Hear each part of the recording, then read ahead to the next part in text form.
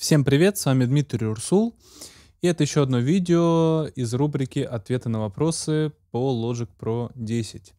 Часто задают вопрос, как э, удалять автоматизацию. Э, в том плане, ну, что как быстро ее удалить. Потому что бывает такое, что вам присылают какой-то проект, Uh, уже готовый, в котором очень много всякой автоматизации, и все это вручную удалять бывает сложно. Uh, и есть очень хороший для этого метод. Uh, я сейчас, э, к примеру, здесь добавлю, у меня здесь такой примерный проект есть, и, и добавлю еще несколько автоматизаций разных параметров, чтобы более наглядно показать, что с этим можно сделать. Так, вот у меня тут разные автоматизации есть. На, на басу я прописал автоматизацию громкости. Такой у нас проект, давайте послушаем.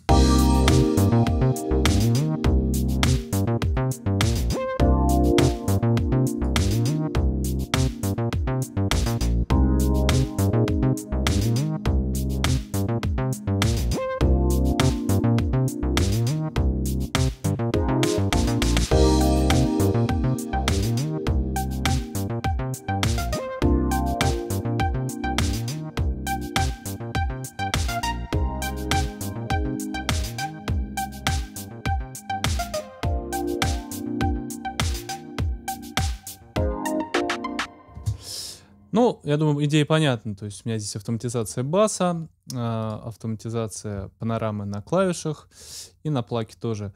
Здесь у нас у плака несколько параметров меняется. Э, фильтр и э, котов. Соответственно, можно каждый параметр, конечно, вот так вот выделять. То есть нажимать сюда на trim и нажимать просто delete. У вас этот параметр будет удаляться. Но, э, как я уже говорил, если в проекте там 100 дорожек, такое очень часто бывает, и кто-то до вас пытался делать какие-то там э, изменения, какие-то автоматизации для такого демо-премикса, это бывает потом сложно в этом копаться, разбираться, и хочется начать с чистого листа, и для этого очень легко все это делается. Для этого есть вот здесь закладка «Микс», э, в которой есть прям целый спектр, посвященный автоматизации. То есть у нас здесь есть э, как раз пункт Delete Automation.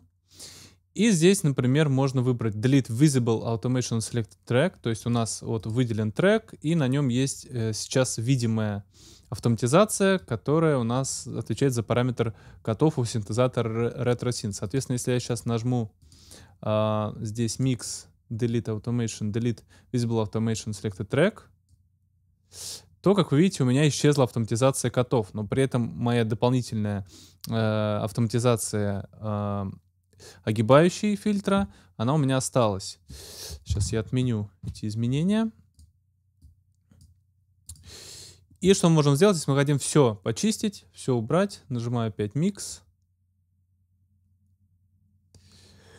Delete all track automation. То есть я выбираю, как видите, у этой, этого параметра даже нет горячей клавиши, потому что, ну, редко это когда бывает нужно, и чтобы, видимо, наверное, случайно пользователи не нажимали, не удаляли всю автоматизацию. Вот я нажимаю, и, как видите, у меня удалилось все. Еще очень важный, э, важный момент. Когда вы удаляете все параметры, Uh, у вас uh, ваши текущие параметры перескакивают на те значения, которые были в, э, в том месте, где стоял курсор на момент удаления. То есть что это значит? Сейчас я нажму Command-Z. А, если у меня курсор стоит, например, вот здесь, на котором у нас громкость здесь находится на уровне минус 20, панорама здесь на уровне плюс 31, и здесь параметры. Если я сейчас здесь удалю всю автоматизацию, то у меня все графики автоматизации встанут по той точке, где у меня стоит сейчас playhead. Это очень важно помнить, потому что бывает такое, что автоматизация где-то э, уходит на нет, и если вы в этом месте удалите автоматизацию, у вас все параметры собьются, и нужно будет их вручную потом поднимать э, ставить на место. Поэтому я всегда советую при удалении автоматизации ставить курсор в самое начало, э, либо можно нажать просто Enter. Так как, скорее всего, в самом начале, ну, за исключением каких-то тех моментов, когда у вас происходит какой-то некий такой фейдин, некоторые так, например, используют. А, за исключением таких моментов, у вас как бы в начале, скорее всего, будут все параметры по такому дефолтному значению стоять, и только уже к, к тому моменту, когда происходят какие-то события, у вас графики будут как-то где-то изменяться, увеличиваться и так далее.